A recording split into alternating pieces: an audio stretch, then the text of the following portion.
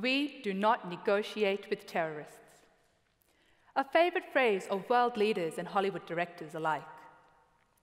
Our leaders repeat this phrase so often and with such conviction that negotiation has become a dirty word.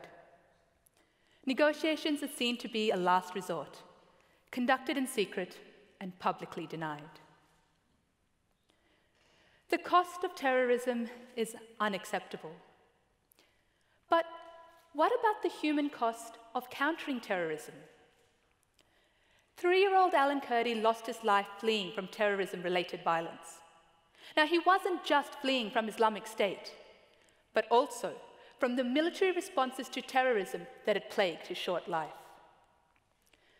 Almost two decades on, and not only is there no end in sight to the war on terror, but it has caused the biggest humanitarian crisis of our time. The status quo simply isn't working.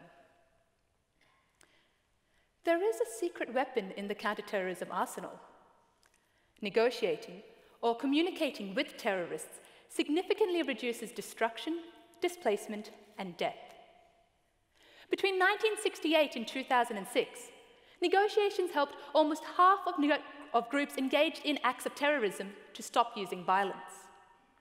In contrast, just over 5% ended due to military action. As a diplomatic studies scholar, my research increases this success rate by optimizing how states approach negotiations as a counterterrorism tool. Now, every conflict situation is different, with no two takes being the same. As such, scholars disagree on the relative importance of factors that affect negotiations with terrorists. For example, one school believes that negotiations with the Irish Republican Army succeeded because they involved all willing actors. Another contends that it was due to addressing core interests and grievances, while others still attribute it to everyone suffering equally. People can't agree on what makes negotiations work. In light of this, I look at negotiating holistically.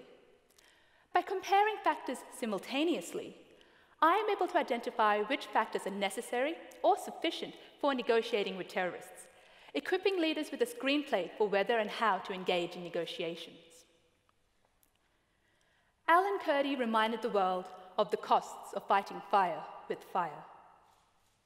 When negotiations already enjoy a 600% better track record than military action, can we really afford to not negotiate with terrorists?